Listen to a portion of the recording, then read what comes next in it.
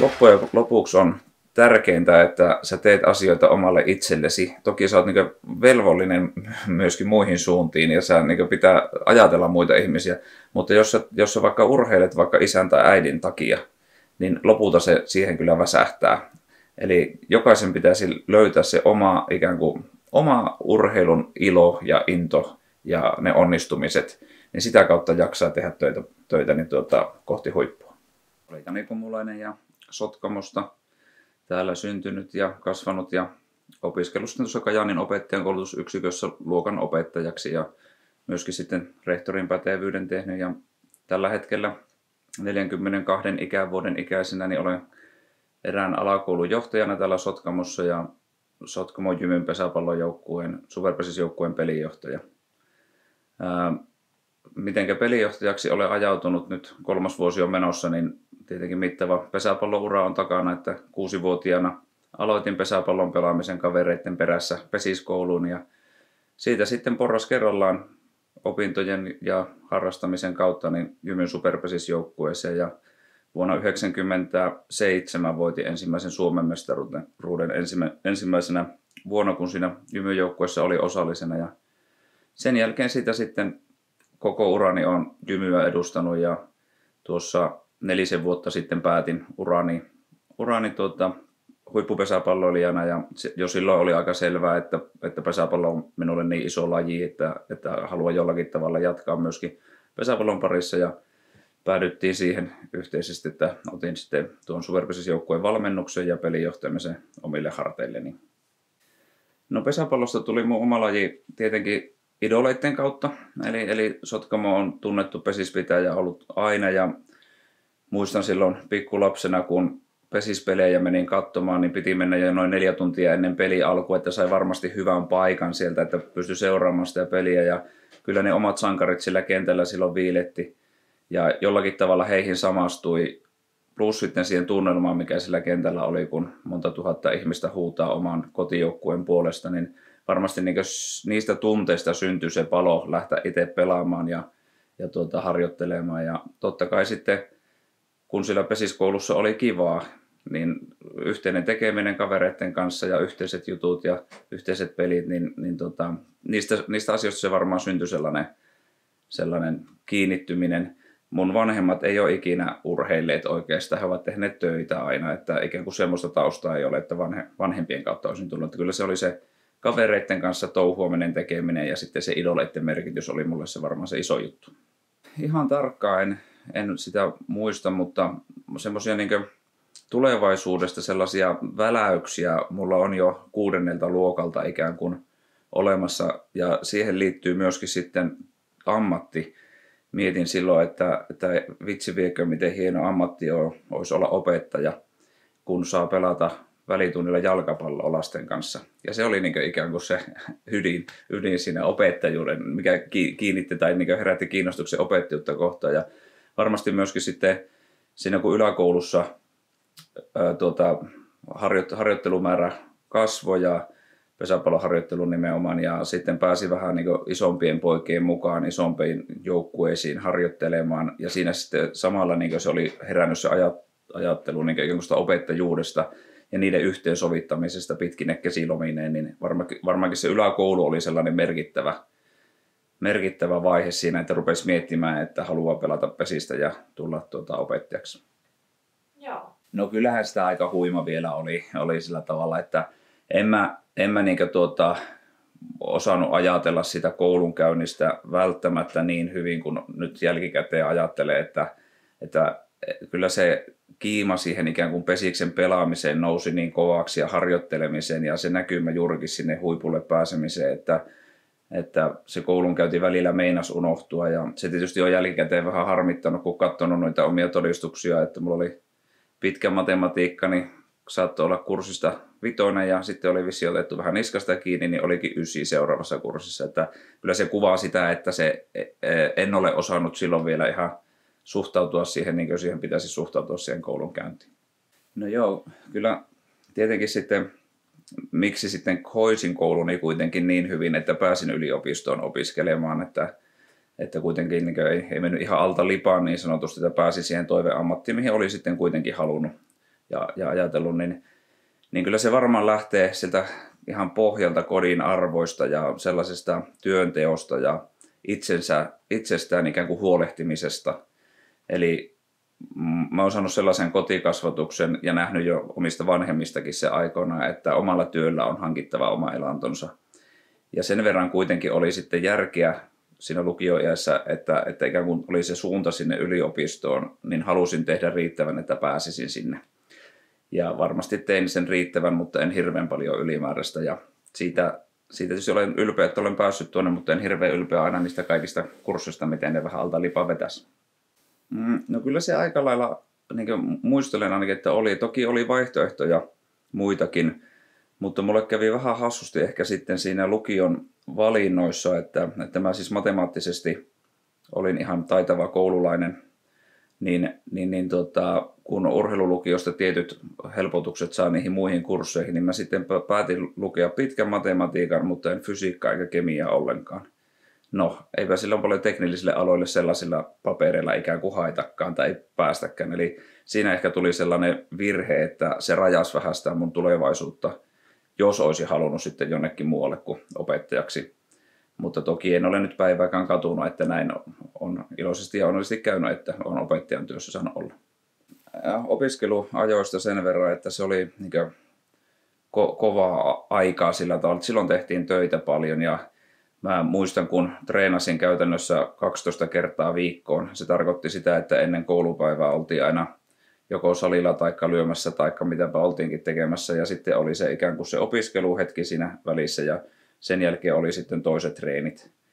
Ja tietenkin sitten oli myöskin illanviettoja ja muita, mitä mahdollisesti kuuluu siihen, siihen mutta tota, se oli sellaista niin tosi intohimoista aikaa, että, että ikään kuin lukioaikana kun se näkymän sain sinne superpesikseen ja aivan, aivan huipulle ja kehityi ja oli jo lähellä sitä, niin opiskeluaikana mä halusin ottaa sen niin totaalisen stepin siihen, että nyt musta tulee huippupelaaja.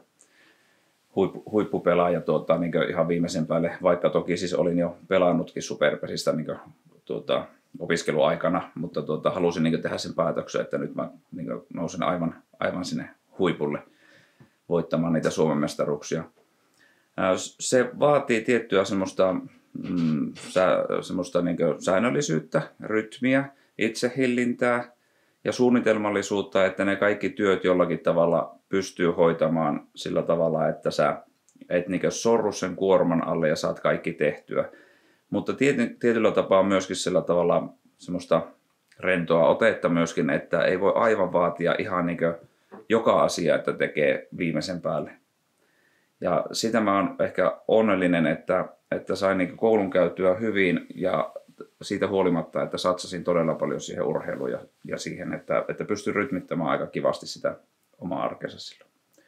Mutta se vaati siis säännöllisyyttä. Sitten sen jälkeen, niin kun valmistuin opettajaksi ja lähdin työelämään, tai pääsin työelämään, niin siinä kohti harjoittelu pikkusen väheni, koska tietysti se hankaloituu hieman, hieman työssä käyvänä se aamuharjoittelu, mutta sitten taas vastaavasti illat on ollut siitä lähtien erittäin täysiä niin sanotusti. Eli, eli se on kun työpäivä on tehnyt, mä tykkään mennä omaan, omiin töihin vähän aikaisemmin kuin muut, eli saa hallinnolliset työt siellä tehtyä ja sitten kun tuo työpäivä on ohi, niin mitä päivän aikana on kertynyt, ne teen, sen jälkeen siinä on ruoka ja sen jälkeen jo lähdetään sitten kohti harjoituksia tai lähettiin ja lähdetään tietysti edelleen tässä valmentajan roolissa, niin Eli se on, siinäkin semmoinen tietynlainen niin asioiden erottaminen ja lokeroiminen, semmoinen aikatauluttaminen ja aika tärkeää.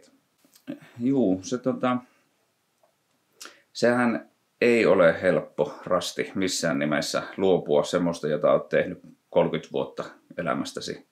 Ja, ja ikään kuin saanut sieltä kentältä ne tunteet, mitä ikään kuin ei välttämättä saa sitten niin muusta elämästä. Että mä ajattelen sitä, että toi urheilu ja ikään kuin pelaaminen, niin se on sellainen helppo paikka epäonnistua ja onnistua, koska se ei ole maailman vakavin asia kuitenkaan. Siinä ei niin sodita tai siinä ei taudit leviä tai jotakin muuta, mutta, mutta sieltä ikään kuin sä saat niin turvallisessa ympäristössä haastaa itseäsi tekemään niin sellaisia asioita, mitä ei ehkä muu, muussa, muussa tuota, elämässä voi tehdä ja, ja sitten myöskin epäonnistua oppia ikään kuin niitä epäonnistumisia käsittelemään, miten sinä meet heti seuraavan asian, kun tilanteet tulee aika nopeasti, tai seuraava ottelu voi olla kahden päivän päästä tai jopa seuraavana päivänä, miten sä niin ikään kuin nollaat positiivisella tavalla ne asiat. Mutta myöskin sitten niitä, niistä onnistumista nauttimaan ja oppimaan siihen, että kun sä onnistut tai sä ratkaiset jonkun ottelun vaikka, että sä annat luvan itsellesi niin sille hyvälle, hyvälle ololle ja hyvälle tunteelle, sille, sille semmoiselle sisäiselle niin ikään kuin tyydytykselle, mitä sä saat siitä. Niin, niin tällaisia tunteita on tosi vaikea saada muussa kuin urheilussa. On varmasti muitakin aloja ja en tiedä esimerkiksi taiteilijoita, mutta itselle. itselle. Ja, ja siitä tunteesta luopuminen oli ehkä se niin hankalin juttu, että mitäs minä nyt teen ja mistä minä niitä saan. Että, että jos mä lähden lenkille tuonne mettään tai punttisalille, niin en mä koe sitä samaa asiaa siinä. Ja tota, sen käsittelyyn tietysti meni, meni aikansa. Toki siinä oli jo samalla sitten suunnitteilla tämä prosessi sitten tähän valmentamiseen ja pelijohtamiseen ja, ja ikään kuin se semmoinen jatkumo, että vaikka itse pääsekään ratkomaan niitä pelejä, niin pääsee olemaan mukana siinä yhteisössä, joka siellä taistelee sillä kentällä. No tota, kyllä mä äh, ehkä niin yksi tärkeimpiä asioita on kiinnittyminen omaan hyvinvointiin ja sillä tavalla, että mä uskon ja toivon, että mä pysyn terveenä ja hyvässä kunnossa koko, koko loppuelämäni.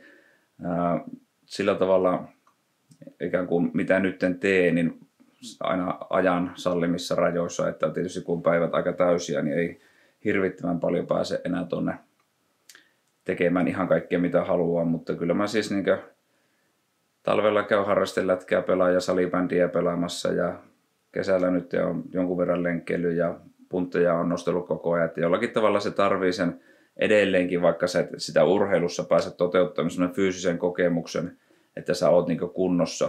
Ja mä oon aivan varma, että mulla se ainakin vaikuttaa myöskin mun päänuppiin sillä tavalla, että mä niin suoriudun paremmin kaikista asioista ja mun aivot toimii paremmin, kun mä tunnen olevani niin hyvässä kunnossa jollakin tavalla. Ei nyt enää ihan urheilijakunnossa, mutta kuitenkin hyvässä kunnossa. Mm, kyllä, kyllä mulla varmaan siis on, että se siis urheilija ja pelaaja oikeastaan identiteetti, että ikään kuin jolla, jollakin tavalla se on, on ollut niin merkittävä jakso mun elämässä tuo urheilu, huippuurheilussa oleminen tai pelaaminen ja, ja nytkin tälläkin hetkellä siinä mukana oleminen, että, että kyllä mä niin ajattelen, että se on antanut mulle niin paljon tuo urheilu ja myöskin niin muuhun kuin siihen itse urheiluun, että ihan niin tuonne työelämän puolelle esimerkiksi vaikka yhteistyötaitoja tai erilaisten persoonien kohtaamista tai juurikin sitä suunnitelmallisuutta ja tiettyä semmoista kunnianhimoa, että mitä, mitä teet, niin tee se kunnolla. Ja sellaisia arvoja, mitkä sitten tuolla vaikkapa opettajahuoneessa tai koulun johtajana, niin on tosi arvokkaita ikään kuin sen, sen niin yhteisön hyvinvoinnin ja onnistumisen näkökulmasta, niin nämä mä uskon, että ne on mulle urheilu kuitenkin lopun perin tuon. No mun, mun niin elämän käännekohtia tietenkin on, on niin tota, noi, opiskeluasiat ja paikkakunnan vaihtuminen ja, ja sitten tota, nykyisen vaimon eli silloin sen tyttöystävän löytäminen ja tällä tavalla, jotka sitten tuo muutakin siihen elämään kuin pelkän urheilun tai pelkän koulunkäynnin siihen aikaan. Eli ikään kuin se, kun omasta koti, kotiperheestä on irtautunut, niin sitten ehkä seuraavat vaiheet liittyy juurikin tämmöisen niin uuden parisuhteen löytämiseen ja tällaiseen. Ja tietenkin sitten mä ajattelen, että, että meillä, meillä siinä parisuhteen alkupuolella oli sillä tavalla haastavia aikoja, että siinä sattui kuolemantapauksia, kaksikin kappaletta, jotka sitten todellakin olivat raskaita siinä arjessa ja hetkessä ja samalla kun ikään kuin urheili ja vielä opiskeli, niin toivat sellaista ikään kuin toki surua siinä, siinä vaiheessa, mutta toivat ikään kuin semmoista, niin kuin, miten mä osaisin sen selittää, sellaisen niin kuin, asiat meni oikeaan suhteeseen ja järjestykseen, eli, eli mikä kuitenkin niin elämässä on tärkeintä. Ja jollakin tavalla se, vaikka oli intohimoinen huippuurheilija ja huippuurheilu niin halusi sitä aivan valtavasti, niin se asettui oikeaan lokeroon niin mun elämässä. Se ei ollut ikään kuin kaikki kaikessa missään nimessä se, se urheilu, vaikka mä tosissaan sitä teinkin ja, ja, ja saavutinkin siinä sitten jotakin, mutta että, se oli ehkä semmoinen kun ajattelin niin jälkikäteen, että jos, jos ei ole sellaisia tullut, niin mä olisin saattanut ehkä, ehkä tuota, olla, olla tuota, liian kiinnittynyt siihen urheiluun ja olisi, olisi saattanut tulla tiettyjä lieveilmiöitä vaikka nenän nousemisesta ylöspäin tai jotakin muuta sellaisia asioita, että, että ikään kuin sen jälkeen oli helppo jollakin tavalla mennä sinne kentälle, kun oli sattunut ja tapahtunut ja oli, oli niin tämmöisiä kokemuksia, niin helppo mennä sinne kentälle, oli sillä vaikka 5000 ihmistä, niin myöskin epäonnistumaan, koska se ikään kuin oli vain urheilua minulle, vaikka sitä tosissaan te- tekikin sitä asiaa.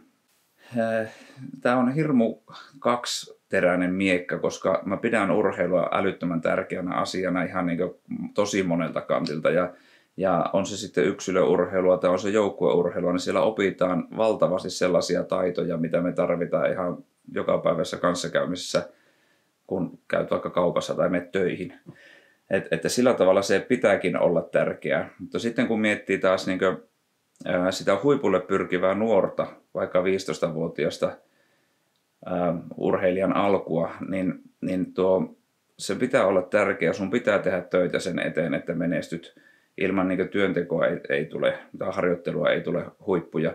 Mutta siinä pitää olla myöskin muuta. Pitää olla ikään kuin vastapaino sille asialle. Pitää huolehtia koulunkäynti hyvin, että sulla on tulevaisuuden turva olemassa. Sä et tipaha vaan pelkästään se urheilun päälle tai siis tai jos se loppuu, se, tai kun se loppuu se urheiluura, niin se tipahtaa tyhjän päälle. Ää, ja, ja siinä pitää olla myöskin muuta, pitää olla niitä kaverisuhteita vaikkapa ja, ja hengällä kavereiden kanssa, että ikään kuin en usko, että se on niin vaarana, vaarana on, että se nousee liian suure, suureen rooliin, mutta on hyvä tiedostaa, että pitää niin muitakin asioita tehdä kuin pelkästään urheilla ja ajatukset pitää olla välillä jossakin muuallakin kuin siinä omassa urheilulajissa. Hmm ja mä tiedän, mä tietysti ollut, ollut aika paljon niin kuin, tai päässyt olemaan sellaisessa organisaatiossa, joka on hirvittävän tavoitteellista toimintaa tehnyt koko ajan. Ja samoin siinä joukkueessa, niissä joukkueissa, missä on ollut, niin siinä on semmoinen jollakin tavalla kunnianhimo ja intohimo sitä tekemistä kohtaa ollut tosi vahva. Ja ollaan menestytty tosi paljon niin sillä tavalla, että tuommoinen määrä Suomen mestaruuksia, niin ei ikään kuin sitä hyvää yhteisöä olisi onnistunut. Tai sitten vastaavasti, jos siinä olisi ollut pelaamassa 12 janikomulaista, niin silloinkaan me ei olisi voitettu. Eli ikään kuin mä näen, näen tämän semmoisena niin omana lokeronaan tämän koko, koko tuota mun urheiluuraan tähän, että, että tuota, ollaan niin semmoisessa menestyvässä, menestyvässä kunnianhimoisessa porukassa päästy olemaan tosi pitkään – semmoisia käännekohtia sitten siinä, niin tietysti henkilökohtaisella tasolla on, on ikään kuin tietyt, vaikkapa se, että, että tota, mä pääsin lukkariksi, jota mä olin junnuna pelannut aiemmin, sitten oli ulkokentällä ja sitten aukeskin se paikka, että sä pääset niin syöttämään Suomen mestaruutta tavoittelevassa joukkueessa sitä unelmapaikkaa, mihin olet aina halunnut. Ja, ja ikään kuin se oli hieno hetki, ja sitten kun se päättyi vielä onnellisesti Suomen mestaruuteen, niin totta kai tällaiset jää niin mieleen, että ne lapsuuden unelmat toteutuu, ja se vielä meni aivan nappiin. Ja, ja sillä tavalla niin joukkueena sitten, että ehkä sellainen, ja sitten toisen, toinen sellainen henkilökohtainen käännekohta oli sitten uran niin loppu, loppupuolelle päin mentäessä, tai ei oikeastaan vielä loppupuolella, mutta sitten kun lukkarihomma ei enää tuntunutkaan siltä, että se on niin luonnollista – että siksi puhutaan paljon lautaskammosta. Mä en ihan tarkkaan tiedä, mitä se tarkoittaa, mutta itse varmaan olin siihen suuntaan ajautumassa, että se, niin se pelaaminen ei tullut enää selkärangasta, sä joudut miettimään ja miten sä syötät johonkin ja joudut keskittymään enemmän siihen itse suoritukseen kuin siihen, mitä pelissä tapahtuu. Ja näinhän ei lukkarilla voi olla, koska silloin kaikki muut on niin edellä sua siinä. Niin siitä muutoksesta vielä ikään kuin sitten tota, kun se siitä koin tai koimme, seura koki myöskin, että, että ikään kuin huippujoukkuessa ei voi olla tuollaista lukkaria, niin ikään kuin se unelma niin muuttui taas siinä, se niin loppui se tietty aika, no sitten menin taas ulkokentälle, voitettiin taas Suomen mestaruuksia, ja vielä, loppu, sitten vielä viimeinen juttu, niin roolina niin olin jokerina viimeiset viitisen vuotta noin, niin, niin tuota, jokeripelaajana ja olin sitten joukkueen kapteenina ja sillä tavalla niin semmoisessa vastuunkantajan roolissa, että mun urallani on tosi paljon, tai on pystynyt uudistumaan ja tekemään aina samaa asiaa, mutta pikkusen eri näkökulmasta ja sitä kautta varmasti sitä virtaa on niin ollutkin aika pitkä urheilijaura. Mm, no varmasti siis mä aika nuorena myöskin niin aloin valmentamaan, tai siis niin onko se nyt valmennusta vai onko se ohjaamista sitten niin junnu- ja pesäpallossa. Että se oli mun kesätyö. Eli mä tota, vedin pesiskouluja ja piiharjoituksia ja, ja siitä ikään kuin opetin nuoremmille sitä, mitä itse olin oppinut omilta valmentajiltani. Ja varmaan sieltä tuli sellainen, niin kuin, sellainen mm, mitenkä tuo, varmaan niitä onnistumisia, niistä siitähän se hyvin usein johtuu, että, että sä koet onnistuvasi jossakin ja koet, että oot tässä ihan hyvä, niin, niin ikään kuin se voi olla sellainen taustasysäys siinä, että on halunnut sitten ajatella, että myöskin ammat, tai niin ammatti voisi olla lasten kanssa toimiminen. Että tota, ajattelisin näin, että, että ikään kuin edelleenkin tietysti lasten kanssa on mukava toimia, en ole missään nimessä kyllästynyt tuohon ammattiin ja, ja sieltä se varmaan sieltä lapsuudesta niistä omista kokemuksista on tullut sitten loppujen lopuksi ammatinvalinta. Perhe-elämä tietenkin on oma lukuunsa vielä siihen, että täytyy niin kiittää omaa vaimoa ja lapsia siitä, että aika paljonhan mä olen ollut pois. Ja, ja sitten on ajatellut sen niin, että silloin kun on kotona, niin on täysillä kotona myöskin, että, että ikään kuin, että yrittää niin senkin vähän suunnitella, että sitten ei vie kotiin niitä töitänsä, mitä on vaikka urheilusta tai opettajahommista. Mutta tota, se työ, työ ja tuon urheilun yhdistäminen, niin, niin kuin sanoinkin tuossa, että se vaatii semmoista suunnitelmallisuutta ja ikään kuin totta kai sitä intohimoa, että sä jaksat lähteä työpäivän päälle, että jos niin moni työpäivän jälkeen käy kaupassa ja rupeaa kotitöitä tekemään tai levähtelemään, niin, niin oma arki oli sitä, että tätä on edelleenkin, että sä meet vähän aikaisemmin ja sitten kun tuut kotiin, niin sinä syöt ja lähdet sitten tekemään sitä toista duunia siinä, siinä urheilijana tai valmentajana. Että, että se va- vaatii, vaatii sillä semmoista niin tietysti halua ja intohimoa tehdä sitä asiaa, mutta suunnitelmallisuutta, mutta tota, mm, kun tykkää asioista, se, se varmaan se pointti tässä on, että, että kun on päässyt kiinni sellaisiin asioihin, mistä oikeasti pitää, Eli, eli jos on töissä mukava olla ja urheilla on mukava, niin kyllä ne aina ne asiat sillä tavalla ikään kuin saa järjesteltyä, kun sitten vielä kotona ollaan suvaitsevaisia. Siis. Niin, se varmaan sitten onkin, onkin se toinen puoli, että, että ikään kuin varmaan se, jos puhutaan tästä urheilun puolesta silloin pelaajana ja, ja sitten nyt valmentajana, niin tietysti semmoinen niin tavoitteellisuus ja tavoitteellinen toiminta ja tähtäin johonkin asiaan. Ja tietysti itse olen ollut koko ajan sellaisessa toiminnassa mukana, että se on Suomen mestaruus käytännössä se tähtäin.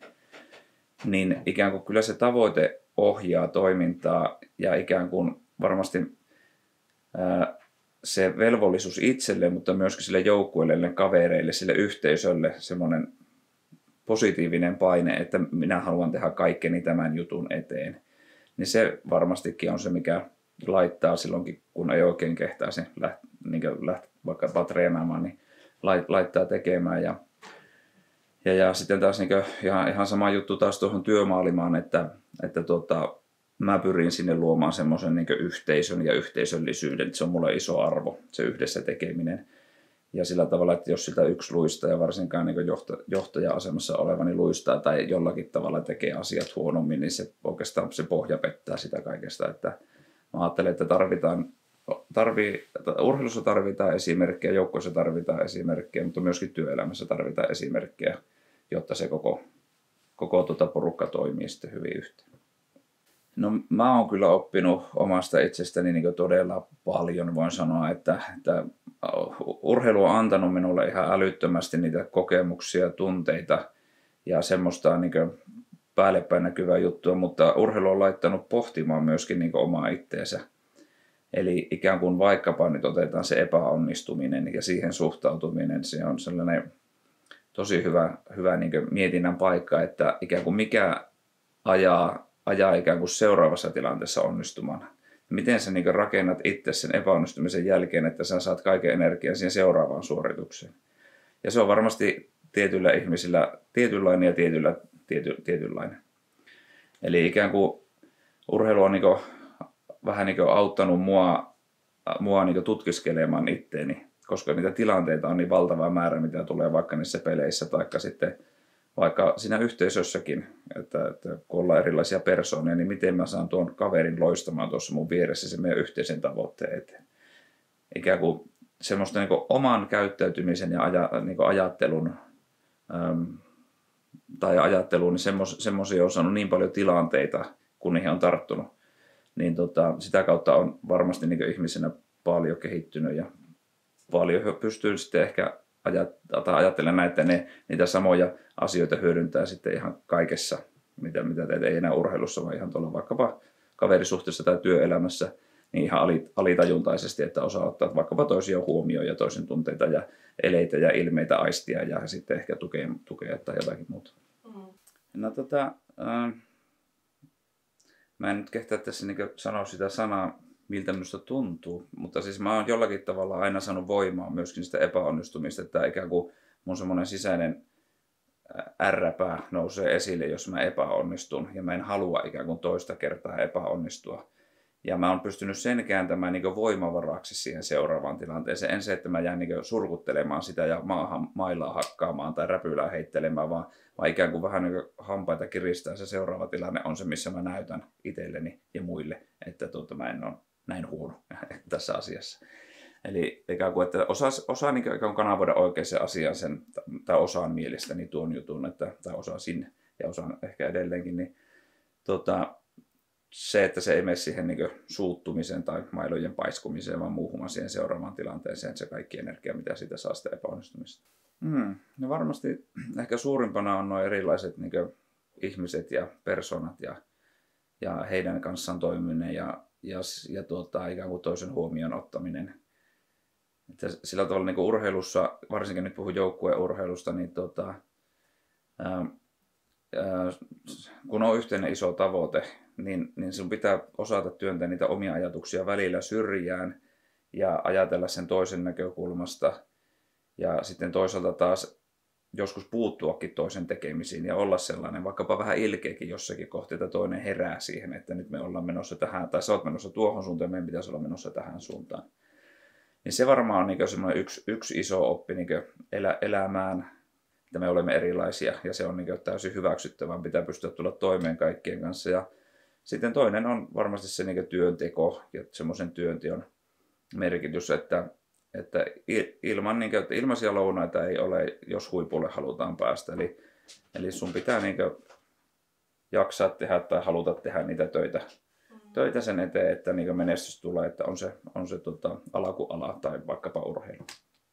Hää, mitäs mä olisin, olisin halunnutkaan tota, tietää silloin. Toisaalta niin kuin, mä pidän sitä lukioaikaa aivan loistavana aikana ja siinä on niin maailma edessä ja muistan niin ittenikin vielä, vaikka oli tiettyjä suunnitelmia, niin kyllähän sitä etti itseensä koko ajan ja, ja tota, sillä tavalla se on, se on hienoa aikaa, kun on vaan se jonkunlainen turva ja tuki sillä takana, että mihin tipahtaa, jos vähän niin joku asia meneekin, meneekin huonommin. Mitä mä olisin halunnut sitten tie, tietää, tietää, niin tota, Mä en nyt kuule osaa yhtäkkiä, tai en muista mitä mä silloin mietin. Niin mä, siis mun, mun luonne on vähän sellainen, että, että ja mä huomaan sen niin myöskin omien lasten kasvatuksessa, että ikään kuin jokaisen pitää kantaa ikään kuin itsensä. Ja sinne mahtuu niitä kuoppia ja sinne mahtuu sitten niitä loistavia hetkiä. Ja, ja tota, mä ajattelen sen niin, että, että sillä 15-vuotiailla Janilla, niin kuin kaikilla lukiolaisilla, pitäisi olla vaan se ikään kuin sellainen turvallinen olo, että voi myöskin epäonnistua. Ja, ja sitten niin itse kokea kuitenkin niitä asioita. Toki järkevyyden rajoissa, että jonkun pitää antaa ne rajat. Ja, ja se, se on niin tosi tärkeää, että vaikka opiskelija, joka lähtee, lähtee lukioon eri paikkakunnalle kuin missä sitten on kotona asunut aikansa, niin tota, kyllä siinä pitää olla tosi hyvä tukiverkosto ja sillä tavalla, joka niin kuin, niin kuin rajoittaa sitä ja kertoo, että mitä saa tehdä ja mitä ei saa tehdä. Mutta myöskin sitten silloin, kun tulee vaikkapa se paha mieli jostakin, niin on joku, jolle pystyy puhumaan ja kertomaan niistä asioista. Ja sitten myöskin auttaa tietenkin niissä ihan arjen askarissa ja tällä tavalla. Että, mutta mä, mä on niin kuin, mun luonteella ajatellaan vähän silleesti, että niin jokaisen pitää kantaa itse itseään ja, ja kokea niitä asioita ja välillä vähän kantamankin kautta sitten oppia. No joo, jos otetaan niistä, niistä tuota, lähi-idoleista, mitkä tosissaan mut tälle, tälle tuota, saralle sai, niin äm, siinä oli muun muassa yksi Eero Okkonen niminen herrasmiespelaaja, joka tota, ei ehkä niin välttämättä kaikille suurelle niin tunnettua, mutta hän oli niin käsittämättömän hieno tsemppari siellä ja niin koko ajan tuuletti ja tsemppasi omaa joukkuettaan ja sillä tavalla oli ilo, ilo nähdä, vaikka hän pikkusen pienemmässä roolissa pelasi, niin mitenkä tuota, hän niin oli yksi osa sitä, iso osa sitä joukkuetta sillä omalla toiminnallaan. Mutta toki sitten varmasti niin näistä huippupelaajista Kari Hakkarainen, joka, joka, tuota, joka kanssa mulla oli kunnia myöskin pelata sitten myöhemmin, kun Kari pelasi kuitenkin sen verran pitkä ura, niin tuota, sitä, juurikin sitä niin tietysti taidon ja fyysisyyden ja kaiken muun, muun lisäksi, niin semmoista niin kuin, tietynlaista kovuutta ja lujuutta edusti siinä ja ei oikein säikähtänyt mistään tilanteesta mitään ja uskalsi pelata sitä peliä ennen kaikkea mailan varressa ja, ja sillä tavalla, että semmoisia yksittäisiä pelaajia, joilta vähän mä poimin sitten niitä eri ominaisuuksia, että millainen mä haluaisin sitten kokonaisuutena olla, niin niitä oli useita jymyn joukkuessa silloin. No tota, ensinnäkin mä niin kannustan ja haluan niin tota, tsempata kaikkia, kaikkia siihen, että te olette niin mahtavassa elämänvaiheessa, vaikka se saattaa tuntua vähän raskalta se lukioaloitus ja lukio tai lukiossa oleminen, niin, niin tota, kannattaa nauttia siitä ajasta niin ne kaikki ne väsymyksineenkin, että, että ikään kuin se on, se on niin sellainen ainutlaatuinen hetki, hetki tuossa elämässä. Ja sitten tota, toinen, toinen niin iso viesti on se, että, että hoitakaa urheiluuran lisäksi koulunkäynti hyvin. Että se urheilu on erittäin tärkeä asia, mutta koulukäynti on kuitenkin se perusturva sitten tulevaisuuteen. Ja, ja vaikka se välillä väsyttääkin tehdä niitä ruotsiläksyjä ja muuta, niin kannattaa ne kunnolla tehdä. Ja yksi semmoinen ehkä tärkeä asia on se, niin ottaa kaikki irti siitä hetkestä, mitä on. Eli kun sä menet sinne ruotsin tunnille, niin kuuntele ja opettele. Käytä se aika hyödyksi siinä. Älä mieti muita asioita. Ja sitten kun sä teet niitä tehtäviä, niin tee ne oikeasti, äläkä kopsaa kaverilta.